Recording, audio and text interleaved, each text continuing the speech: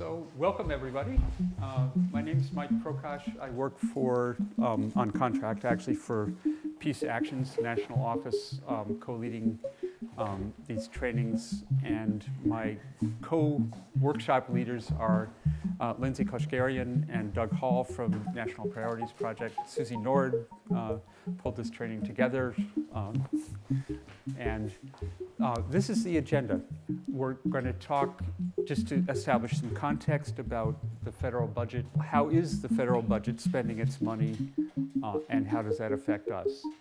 Then we will look at the obstacles to um, cutting the Pentagon budget and moving that money into other programs. Um, we'll look at uh, kind of fear and the dominant narrative about national security, about the jobs argument, about um, kind of, well, how do we do it? Where, where do we acquire the political power to actually move the money? And then we'll look at the specific challenge with tax phobia and uh, kind of the, the budget gridlock and what do we do with that. I'm Lindsay Koshgarian with National Priorities Project. Um, and we're based in Northampton, Massachusetts. We also have staff in Maine and Maryland. Um, and our reason for being is to educate regular people about the federal budget, about where the money goes, where the money comes from, um, and what you can do about it if you don't like where the money is going to or coming from. Um, National Priorities Project is over 30 years old now, and we have a long history particularly of focusing on spending on military and security issues. Um, one of our features is a cost of war counter that's been running um, that looks at the costs of the wars in Iraq and Afghanistan since 2001. And, um, and we'll be seeing some of that information here. Uh, but that's the kind of information that we try to provide for people.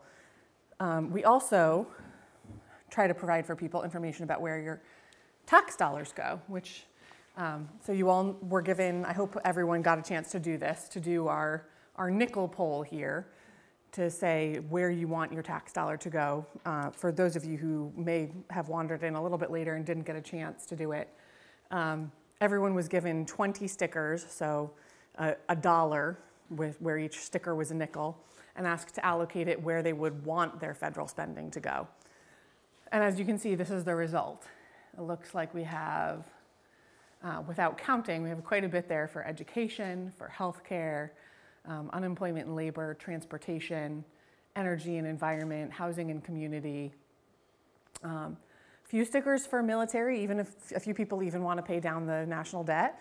Um, so this is what it looks like according to what you all said you would like to see. And then up on the screen, which is out of focus, you can see where it actually goes. So out of your federal income taxes, 27 cents of every dollar goes to the military. That includes the Department of Defense base budget. That includes um, a separate war spending fund that we currently have on the books called Overseas Contingency Operations. It includes spending on nuclear weapons. Uh, it includes foreign military aid, what it does not include is uh, spending on veterans, which you can see is its own category uh, at only six cents of every dollar. And speaking of six cents of every dollar, of that 27 cents on the military, only six cents of that actually goes to pay our troops. The rest is procurement, research and development, operations, but not actually supporting our troops directly. So as you can see, this is quite different than where you all chose to put your dots. What's not up here is are things that are not paid out of your income tax dollar. So most notably that's Social Security and Medicare.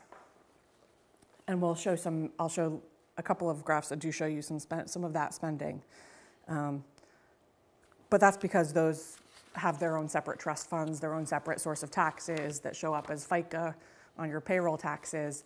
Um, they're not things that are funded by your income tax dollar. The black budget, uh, for those who don't know, is um, spending that is uh, it's classified. So it's not off the budget, it's in there, but it's not, um, what the spending is on is classified. Visible. So it's very invisible. Um, and there was a, there was, the Edward Snowden leak was a big leak that sort of let people in to see how much that actually is of the federal budget. And I think it was about $50 billion at the time. Um, so definitely some of that goes in the military category. Maybe possibly a little bit of it goes in government, but I can tell you that most of what government is is Department of Justice, it's the IRS, um, it's some other sort of law enforcement that's not quite so murky. Um, and healthcare is the 22nd biggest category at 26 cents of every dollar. That has been growing. Um, that is largely because Medicaid is included here. Um, and those are the costs of Medicaid, even though the services aren't necessarily increasing that much, the costs are. Um, last year, I think that was only about 23 cents on the dollar. So um, that is increasing. Here you have sort of in graphic form our federal budget process. And so if you start in the upper left box, you see an example of some government agencies, Department of Defense, Department of Agriculture, Department of Education, but it's really pretty much every major federal agency has a role in giving input into the Office of Management and Budget, which is the White House arm that helps the president set his budget for the coming fiscal year. So, beginning actually in the spring, all the departments, so now the departments are already sort of collecting information about what funding they may need. And now the, departments themselves are, at this point, are looking forward to fiscal year 2017, even though fiscal year 2016 hasn't even started yet and will start in October. Um, so this process really starts very early with the departments reviewing their budgets, seeing where they need more money, seeing what programs they may be able to cut or even eliminate. And then they provide that information to the Office of Management and Budget, which sort of churns it out, gives feedback back to the departments. There's sort of a cycle feedback loop there that happens. And ultimately, that goes into the president's budget, which is supposed to be released in February. And this year it was, which is not always a given. Um, but this February, President Obama released his would be budget for the country. And of course, that budget is just a suggestion. It has no power of law. Congress doesn't really have to listen to it. Um, but it's what the president would like to see. And it's important for a couple of reasons. For one, it sort of kicks off the budget game for the rest of the year and the rest of the discussion. It's also the only budget that actually incorporates that input from the departments on what they want um, and what they need. So it has sort of the expertise and the information from the departments themselves that actually run the programs behind it. So that happened this year in February. Uh, the next two steps here, you kind of see the House and Senate running in parallel in the blue boxes there, with the House on top and the Senate on the bottom. So the House and the Senate consider the, the president's budget submission. They come up with their own budget resolutions, uh, which this year they did. Um, this year, the House and Senate budget resolutions both called for um, essentially the same spending on defense that President Obama called for, about $612 billion. And on non defense, they were drastically different. Uh, so the president called for increased spending on non defense domestic priorities like education, healthcare, uh, transportation, infrastructure. The House budget would have cut that spending by almost $800 billion over the next 10 years. And the Senate budget would have cut by, I think, around $300 billion. Since then, that, the, those budgets came out uh, a couple months ago now. And just within the last few weeks, the Senate and the House came together on a single budget resolution that now would keep defense spending at about $612 billion, the same as what the president asked for um, but would cut domestic spending on everything else by an additional, over the next 10 years, by an additional almost $500 billion. And that's assuming that what we all know is sequestration, the budget caps from the Budget Control Act. That's assuming that that continues. They would cut even more than that. So sequestration is already a very, um, a very limiting and very draconian set of cuts. How about inflation in, in that period? Uh, so the numbers I'm talking about are all, um, they're not inflation adjusted. So $500 billion of cuts is $500 billion of real dollars. so they're not, they're certainly not increasing things to keep up with inflation. So, um, so right now where we are is that we have a budget resolution from the House and the Senate that they've both agreed to um, that has very large cuts um, for domestic non-defense spending and starts to ramp up defense spending in ways that I'll talk about more as I go on. Um, the next steps in the process is that the House and Senate are supposed to do appropriations bills. Um, this is where it kind of starts to get serious, where it actually starts to turn into law that could become our actual budget for next year. Um, however, it's been more than 20 years since that process has actually been followed. It's supposed to be that the House and Senate both come up with 12 separate appropriations bills that fund the 12 different parts of the government. They then conference those together, come to a single set of 12 appropriations bills, which then go to the president for his signature or veto. Um, as I said, that has not happened that way in 20 years. Um, in recent years, we've had more um, continuing resolutions that continue the process where so the funding from the previous fiscal year is held into the into the start of the new fiscal year until Congress and the president can come to an agreement. Um, we've had omnibus bills, which wrap all of the 12 bills into one so that you have to vote either yes or no on the entire budget for the country rather than on separate pieces of it as a member of Congress. Um, and that's, that's been the way that things have been happening. Last year we had um, an actual combination that folks may remember being referred to as the Cromnibus, um, where it was an omnibus bill, so it was everything, all parts of the government funded into one bill. But there was also an aspect of it where the Department of Homeland Security was only funded until February. And we got past that hurdle. They continued funding for the Department of Homeland Security at the end of February, um, going through the rest of the fiscal year. So now we're firmly back into considering what the budget will look like for fiscal year 2016, which starts October 1st. Just yesterday, the House of Representatives passed the National Defense Authorization Act. Um, that act does not actually uh, author, it authorizes spending, but it doesn't actually allow spending by the government. Um, that will still happen in the appropriations process.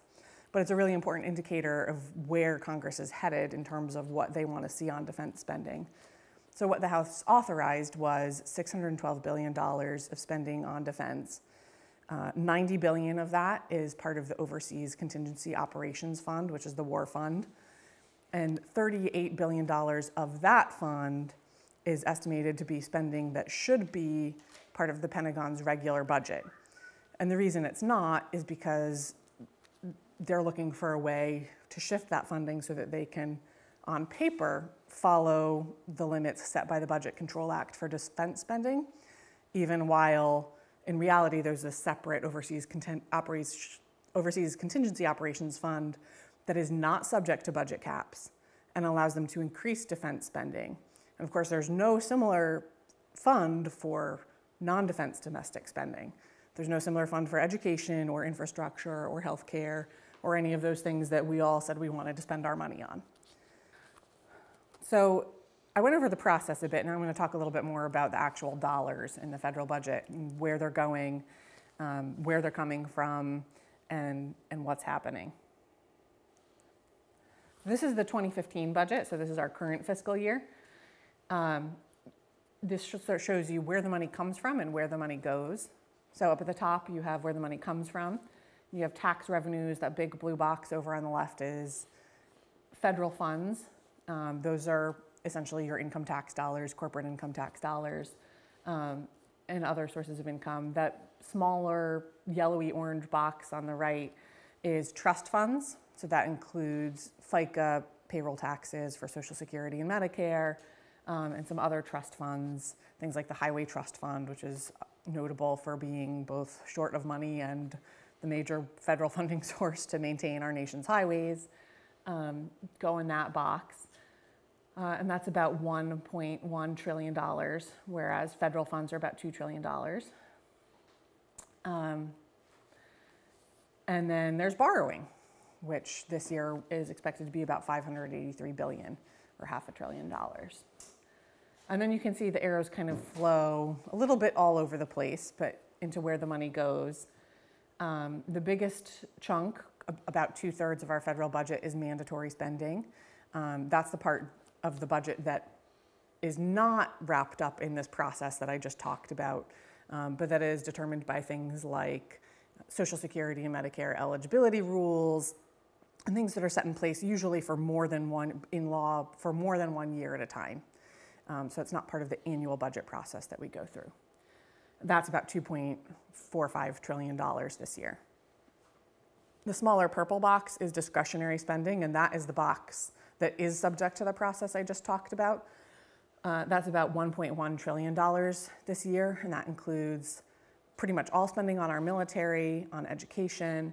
I think it includes quite a bit of healthcare spending, uh, pretty much all of the federal spending on housing, um, a lot of transportation spending, energy spending, spending on science, things like that all fall into the discretionary budget. And then, of course, there is the smallest red box is our payments on the interest on our national debt, which this year is about 229 billion, or about 6% of our budget this year. And of course, all of that federal spending eventually does come back to our cities and towns and where we live. So, looking at New Hampshire specifically, uh, we look at four major ways that federal spending comes into states. The first is directly to state government, and in New Hampshire, that's about $1.7 billion. That should actually say 27% of the state's budget um, comes from the federal government. And that's about, that's about average. Um, the average for the United States is 30% of each state's budget comes from the federal government. And that includes things like um, assistance for housing, Section 8 and public housing. It includes um, public assistance in the form of Medicaid, TANF, um, the low income housing allowance, uh, heating allowance, um, block grants. Doesn't include assistance that goes directly to individuals. So it doesn't include um, Social Security or Medicare or food stamps state residents directly, that's where you see Medicare, Social Security, food stamps. That's about $7.7 billion in New Hampshire. Federal contracts are 1.8 billion in New Hampshire, and 82 or 83% of that is defense contracts. Which in many states, the Department of Defense is the biggest source of um, of federal contracts, right, specifically. So that's not terribly unusual, although that's still a pretty high percentage. And finally, there are direct federal employees, um, which in New Hampshire draw about $965 million in compensations, which is pay and benefits. And 17% of that is military personnel. And so all of that adds up to about $12 billion of federal money that comes into New Hampshire. So looking at that chunk that goes direct to state government that makes up 27% of New Hampshire's state budget. There's about 80 million up on the top left, that's housing and community development. So that's Section 8, public housing, other forms of housing assistance, um, and some community development funds. About 791 million is for public assistance, which again is largely Medicaid, but also um, TANF and LIHEAP uh, and other, other programs. 247 million is for education, like Title I, um, Head Start, and some of the small funds that have been granted for the, the President's proposed preschool for all program, things like that, funding for special education. 177 million goes to transportation, which is public airports, uh, highways, mass transit. 33 million goes to natural resources and agriculture, um, which is conservation, flood prevention, fish and wildlife. And 27 million goes to health and hospitals, which is WIC, or Women, Infants, and Children Program, um, healthcare for veterans, EPA Superfund, and other programs. And just to total this up again, this is 1.7 billion. So all of this put together is about the same as the federal contracts that was 1.8 billion that come into New Hampshire.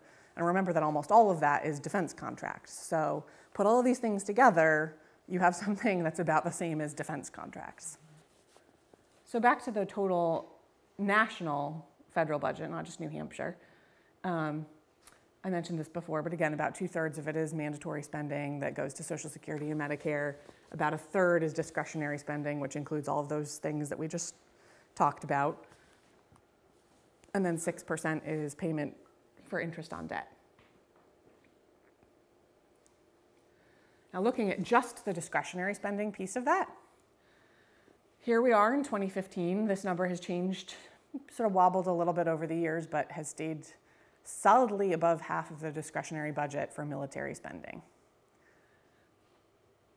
And then as you can see, everything else is a much smaller piece. So all education funding is about $70 billion, which is 6% of the discretionary budget. Um, so military spending is almost 10 times as much. Veterans benefits, uh, also about 6%. Military spending is also about 10 times as much as we pay actually to take care of our veterans. Um, and all the categories are just sort of smaller and smaller from there. Government, like I said, is largely federal law enforcement, but it's also the IRS and Treasury, um, sort of, you know, government functions that don't fit in any sort of program area. And altogether, discretionary spending in 2015 is about $1.1 trillion. Now, this is discretionary spending. So the blue line is military, just like the blue pie piece was military. The yellow is everything else in that pie. And this shows you over time, starting in 1976 uh, through this year, 2015, how those pieces have related to each other.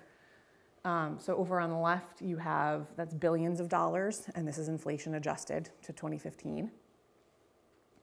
So you can see that the blue line is almost always above the yellow line the one exception was the 2009, the 2008 Recovery Act um, to get out of the recession where domestic non-defense spending kind of spiked. So other than that spike, we're almost always spending more, other than sort of this brief period that you see at the beginning during the 70s, we're almost always spending more on military spending than we are on all other spending in this country. So here, just to look at our military spending another way, United States military spending, again, is the blue bar. And here you see the next nine countries. Of course, the United States is number one. Um, this number, again, has changed somewhat over the years, but right now we're at fully more than a third of world military spending just from the United States. Um, and right now, that's about the same as the next seven countries combined. It's also more about three times as much as number two, China, um, the big threat. And I think it works out to like between seven and nine times as much as Russia, the big threat. Um, so the United States is certainly pulling its weight in the world in terms of military spending. So here you see how we actually, a little bit of how we actually spend that money. Um, we also have additional materials on our website that really go into detail for this year about how that money is being spent, including on different weapons systems, things like military pay, even by force. So, you know, how much is Air Force versus Navy? Um, we have a lot, a lot more of that information available on our website, but this is sort of a big picture. So in 2015, we're spending almost 600 billion on our military. And the way that breaks down is 496 billion is the Department of Defense base budget. The OCO War Fund, the slush fund, is 64 billion this year, and that's the fund that Congress is talking about upping to 90 billion for next year. Um, and that doesn't include a separate piece of OCO funding that goes to the State Department. This year, we're spending about 18 billion on nuclear weapons and associated costs, which uh, is pretty level with what we've been spending in recent years, 3%. 12 billion on international security assistance, that's aid to foreign militaries, and 1% on other. When you spend money on the military, you do get some jobs. When you spend money on anything, you do get some jobs. Um, but here's what you can get if you spend a billion dollars of federal money in certain different ways. This is according to a UMass study that um, came out in 2011. So if you spend a billion dollars on the military, you get 11,200 jobs. If you spend a billion dollars on tax cuts to, to individuals and assume that those people actually spend that money, um, as opposed to stashing it under the mattress somewhere, you get about 15,000 jobs. If you spend a billion dollars on clean energy technology, you could get almost 17,000 jobs. If you spend a billion dollars on healthcare, you could get more than 17,000 jobs. And if you spend that billion dollars on education, you could get 26 billion jobs. So, same amount of money, billion dollars. If what you care about is jobs, this should certainly play into what decisions you make about how to spend that money.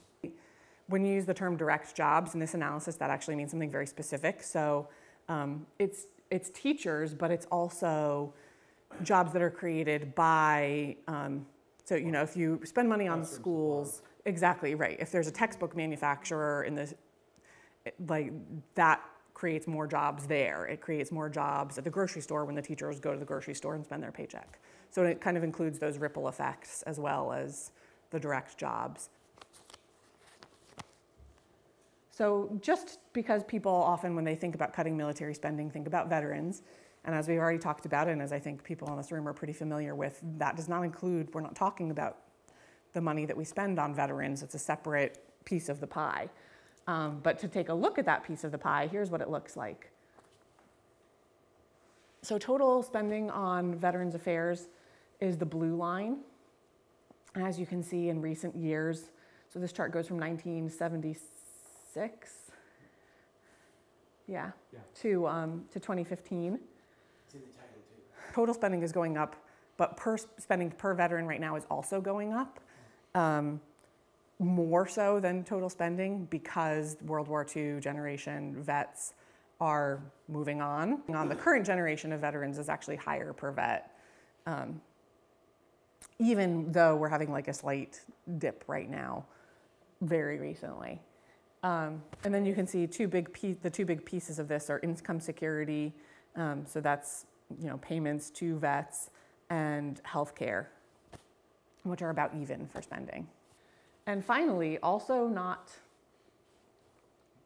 completely included in this conversation is Homeland Security funding, which is sort of our other Defense Department. Um, so the total Homeland Security funding is that green line up at the top. And there's some Defense Department funding that's actually categor- categorized also as Homeland Security. So that's that yellow line there, you can see. Um, but it's a relatively small piece of it. Um, and then the blue line is non-defense department, and that is scattered across almost every department you can imagine. It's certainly Department of Homeland Security, but it's also Department of Commerce, Department of Agriculture, um, Department of Transportation. It's just about everywhere, all over the federal budget is Homeland Security funding. And on Homeland Security total in 2015, we're spending over $70 billion this year. So that's the end of my Pentagon spending presentation.